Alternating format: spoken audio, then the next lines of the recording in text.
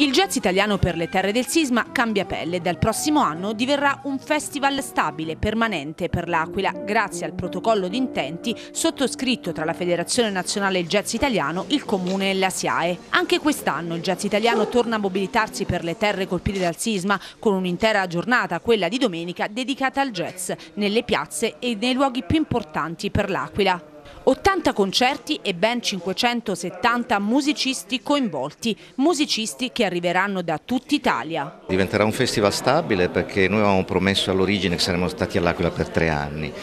il 24 agosto di due anni fa un nuovo sisma da matrice, quindi venimmo all'Aquila solamente per un momento e quindi decidemmo di regalare all'Aquila un'altra edizione, quella del quarto anno. Noi crediamo che a questo punto l'Aquila sia pronta per proseguire da sola, ma da sola significa con il nostro contributo, ovviamente noi saremo presenti, soprattutto in questo momento laddove la nascita di una federazione nazionale del jazz, suggerita poi dall'esperienza aquilana, ci permette eh, di avere una struttura che è pronta a coordinare un festival del jazz italiano, laddove l'Aquila diventerà proprio il centro nevralgico di tutte le attività del jazz italiano e sarà il vero racconto, la vera fotografia di tutta la storia del jazz italiano che oggi noi raccontiamo anche con una serie di libri, ogni anno abbiamo un libro fotografico che è fatto di immagini, che è fatto di parole. Fortemente voluta dal MIBAC, dal sindaco Pierluigi Biondi e dal musicista e direttore artistico Paolo Fresu, l'iniziativa che anche nel 2018 ha confermato la propria natura itinerante, toccando gli altri centri duramente colpiti dal sisma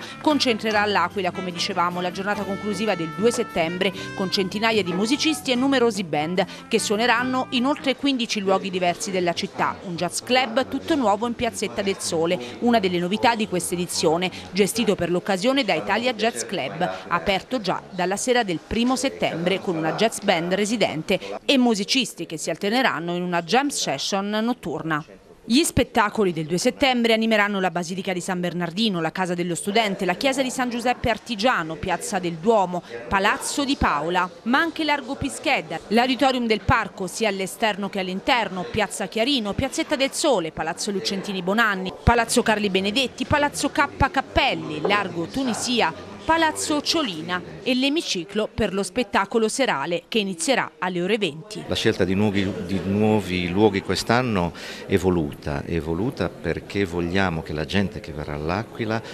possa vedere una città cambiata e possa vedere luoghi che l'anno scorso erano inabitati o inabitabili e che quest'anno diventano straordinari teatri all'aperto dove fare dei concerti. Credo che in questo si celi anche un altro dei significati di questa manifestazione, che non è solamente quella della solidarietà,